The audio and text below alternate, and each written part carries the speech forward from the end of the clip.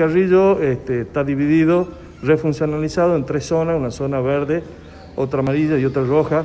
La zona verde está haciendo todo lo que tiene que ver con controles de salud, vacunación, eh, controles de niños, que están muy restringidos, solamente aquellos niños del primer año de vida, porque son por ahí los que más riesgo tienen si no se los controla. ¿ah?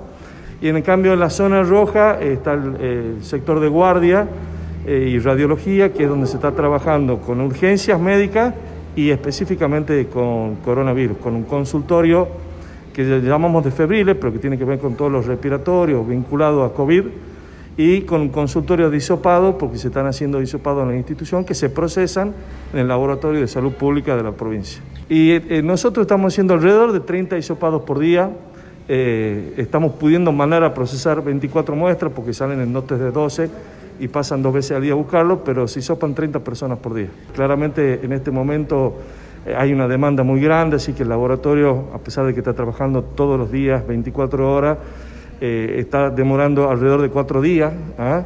este, a veces un poquito más, a veces con suerte un poco menos, sobre todo cuando hay alguien que, es, que está muy sintomático, está requiriendo internación, por ahí se puede conseguir que venga un poco antes, pero por promedio son cuatro días. Nosotros estamos en el orden de los 35% de, de positivos. ¿ah? Pero bueno, no hay que guiarse mucho porque esto ha ido cambiando durante la semana. Al principio teníamos muy pocos positivos y se va incrementando a medida que vamos cursando la pandemia.